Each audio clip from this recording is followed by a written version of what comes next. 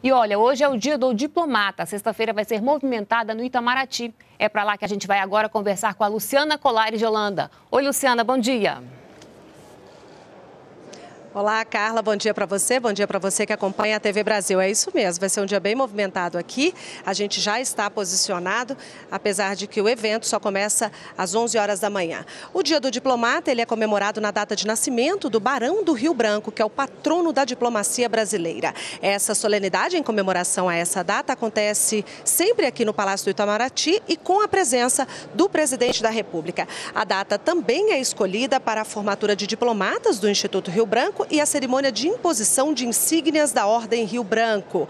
O presidente Bolsonaro vai participar desse evento e ele deve chegar por aqui no Palácio do Itamaraty às 11 da manhã. Essa turma 2017-2019, que se forma hoje, é composta por 30 diplomatas, incluindo diplomatas da Argentina, do Cazaquistão, da Guiné-Bissau, Japão, Moçambique e Timor-Leste. Carla.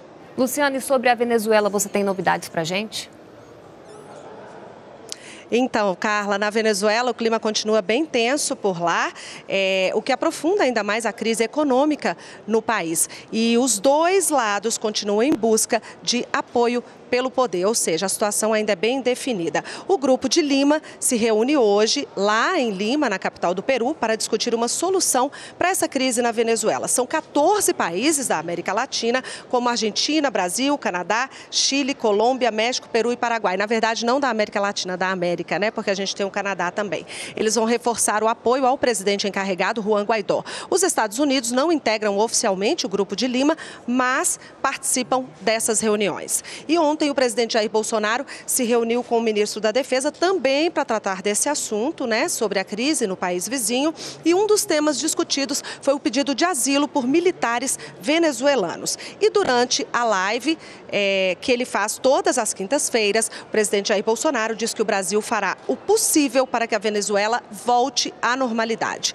Eu continuo por aqui, volto a qualquer momento com outras informações. Carla. Obrigada, Luciana.